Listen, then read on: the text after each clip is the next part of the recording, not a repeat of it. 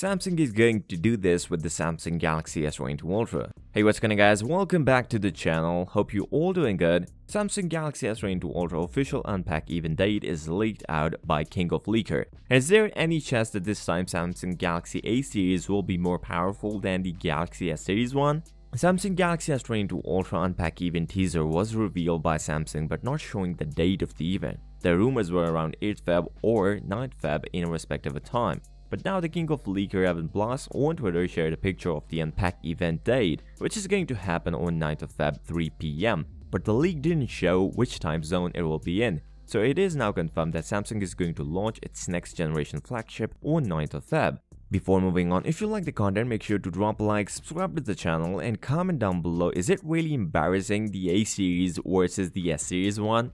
Samsung Galaxy S22 Ultra will feature Exynos 2200 or Snapdragon 8 Gen 1. Different regions will get different processor, but a leak of benchmark of Exynos 2200 versus Snapdragon 8 Gen 1 and Dimensity 9000 shocked everyone. According to the leaks, Samsung's budget series, the Galaxy A series, may feature a MediaTek most powerful processor, the Dimensity 9000. But the most embarrassing thing is that in benchmark, Dimensity 9000 is way more powerful than the Exynos 2200 and even the Snapdragon 8 Gen 1. Ice Universe on Twitter shared a picture of benchmark we all know MediaTek has always come with a budget processor, that's why we see some budget devices have them, but Dimensity 9000 will change the picture. It is not confirmed that we may see more power in the A series than the S series one, but obviously the feature in the A series will not compete with the Samsung Galaxy S22 Ultra. But a good news for those who are willing to get the A series and also Samsung may change the processor in the A series because of its superiority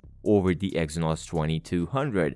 Samsung Galaxy S22 Ultra US prices are also leaked out, where the S22 will cost you $899, S22 Plus will cost you 1099, and the S22 Ultra will cost you $1299. These are the base model. Now, Samsung is also sticking with the base variant on 128, not 256. Rumors were around that the Samsung may switch to 256 base variant, but it is not going to happen this year. With that being said, if you came this far, drop a like, subscribe to the channel, and comment down below is it really embarrassing A series versus the S series one. I'll see you next time, till next time, peace out.